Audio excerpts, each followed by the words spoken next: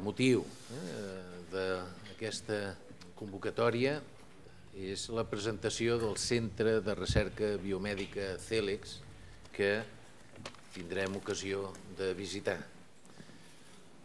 i d'inaugurar-ho en tota solemnitat. Un nou CELEX, un nou centre CELEX que permès millorar les instal·lacions de recerca, organitzar millor les unitats vinculades a la recerca que acull el centre en uns terrenys en uns espais, uns terrenys de l'UB, on els seus professors i investigadors també estan implicats, dic, a l'Hospital Clínic i al Centre de Recerca eh, IDIVAPS. I què serà aquest centre per recerca biomèdica CELEX per l'IDIVAPS? Doncs serà el segon centre al qual els investigadors de l'IDIVAPS podran desenvolupar la seva recerca translacional. I ara aquí hi ha una altra opció de treball pels investigadors IDIBAPS, en aquests espais propietat de la UB, que la UB cedeix als investigadors IDIBAPS per un període de temps i que signifiquen el seu conjunt més de 5.000 metres quadrats, eh, molt ben adequats per la recerca actual,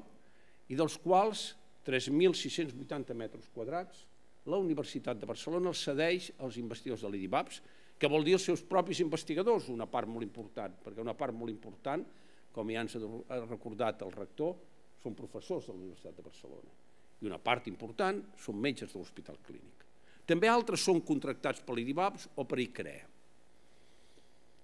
Certament, eh, els investigadors d'aquí de l'IDIBAPS eh, són respectuosos amb l'entorn i amb les persones, però són molt competitius i volen fer una recerca que es diferencia d'altres centres perquè està molt propera a la societat i vol com a objectiu molt primari lliurar-nos de les malalties. Una de les grans diverses que he tingut, eh, de Sanitat, és haver conegut el senyor Pere Mir. El senyor Pere Mir, eh, que de seguida de posar a la meva disposició fa dos anys i la seva Fundació Tèlex, jo crec que eh, és una persona que eh, aquest país estarà sempre en deu també. No podrem mantenir, les, mantenir la continuïtat eh, sense el compromís eh, que